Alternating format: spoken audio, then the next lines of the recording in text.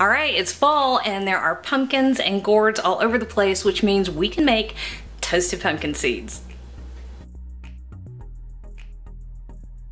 All right, I'm filming now. Oh, sorry.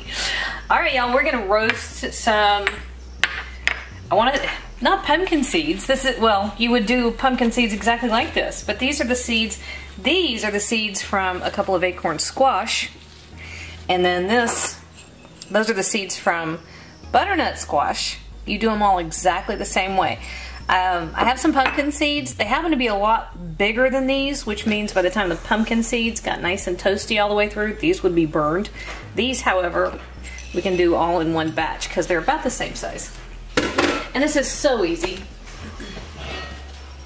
It's one of my favorite parts of fall. All right, so there is a tablespoon of uh, butter that I stuck over on a warm spot on the stove and I let it melt.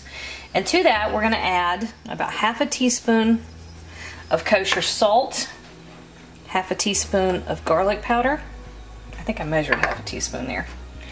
Half a teaspoon of black pepper, about a full teaspoon of Worcestershire sauce, and just a scant hint of cayenne pepper. All right, so let me get, we're just gonna stir that up. Here we go.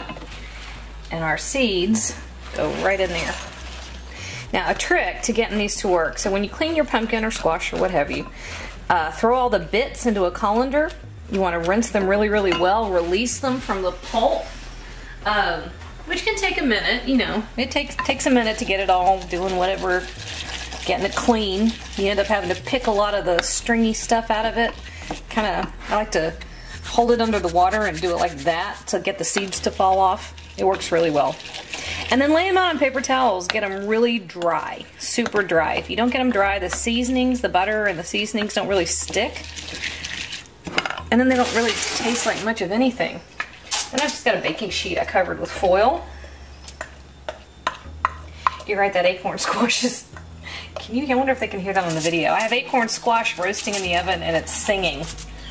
All right, so then you want these all out in a single layer.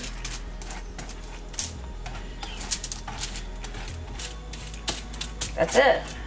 Tell me how easy that is. All right, we're gonna throw this, I've got an oven set to 350 degrees. We're gonna set it, put these in there with a squash. Give this about uh, 10 minutes, and then we're gonna stir it up so it gets toasty all over. And I will be back. All right, those had, so hot I can't get my camera in there too much, but those had about 10 minutes. I gave them a stir, and then we're gonna give them a few more minutes.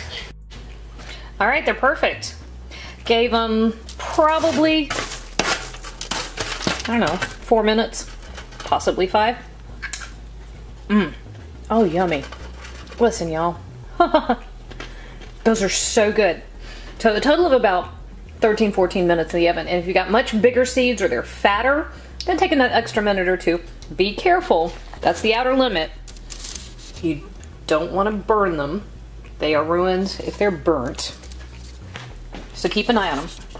And again, just remember the biggest trick is to make sure they're nice and dry before you get them seasoned up. All right, there you go. That's all there is to that.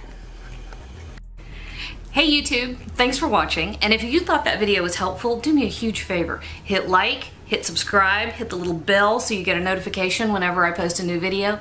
And if you have a second, hop on over to Patreon and check out how to support my channel even more. Again, thanks for watching.